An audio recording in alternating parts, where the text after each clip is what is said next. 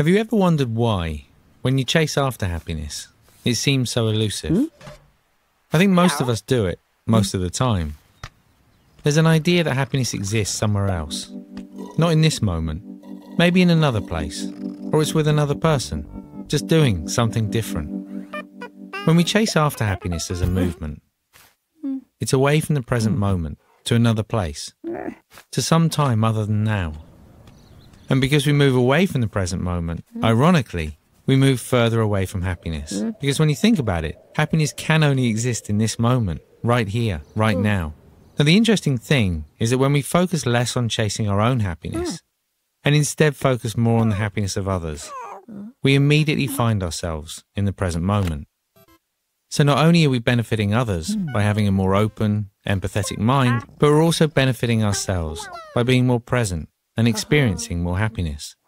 So the quickest way, the surest way of experiencing more happiness in our lives is to focus more on the happiness of others.